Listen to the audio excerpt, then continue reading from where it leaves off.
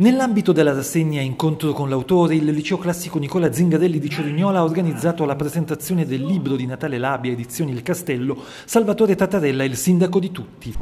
Il sindaco di tutti non perché Salvatore Tatarella sia stato un sindaco ecumenico, assolutamente no. Sindaco di tutti perché oltre ad essere stato eletto con la famosa legge 81, quindi direttamente dal corpo elettorale, subito dopo la vittoria ha aperto le porte del municipio a tutte le forze attive della città senza far distinzione tra appartenenze politiche e soprattutto tra appartenenze partitiche. Quindi questa apertura alla città lo ha fatto diventare il sindaco di tutti.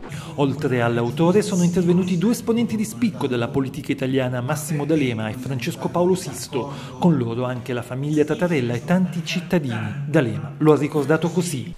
Ma io credo, naturalmente parlo da avversario politico, diciamo, ma ah, sicuramente Salvatore Tatarella raccogliendo anche l'eredità di suo fratello, con il quale ho avuto un, un rapporto più diretto nei miei anni baresi, perché eh, lui era membro del consiglio regionale, eccetera, insomma, hanno contribuito e lui ha contribuito molto ad un rinnovamento della destra italiana e ad una qualificazione della destra come forza di governo. Il parlamentare Francesco Paolo Sisto aggiunge.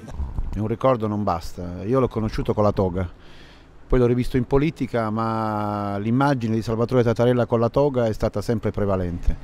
Un avvocato della gente comune, un politico che si è battuto per la, per la gente comune, sempre allegro, sempre compagnone, eh, sempre un uomo sui marciapiedi come io camminavo e cammino sui marciapiedi, eh, mi sembra che c'è da ricordarlo con gioia. Ecco, se potessi scegliere una, una, parola per ricordarlo, lo ricordo con gioia. Quanto manca a Cerignola un sindaco come Salvatore Tatarella? Risponde il figlio Fabrizio. Sono i cerignolani a dirlo prima di lui e dopo di lui, nessuno più come lui.